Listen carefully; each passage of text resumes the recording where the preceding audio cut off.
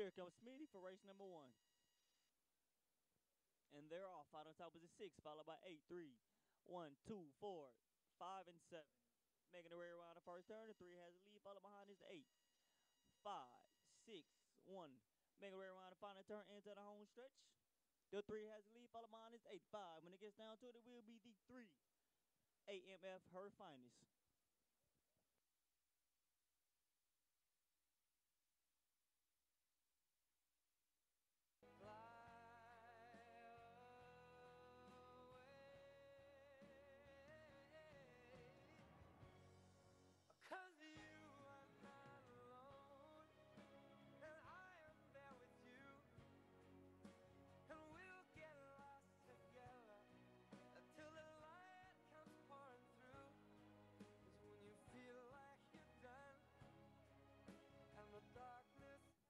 There you have it, ladies and gentlemen. The results are in, and race number one is official.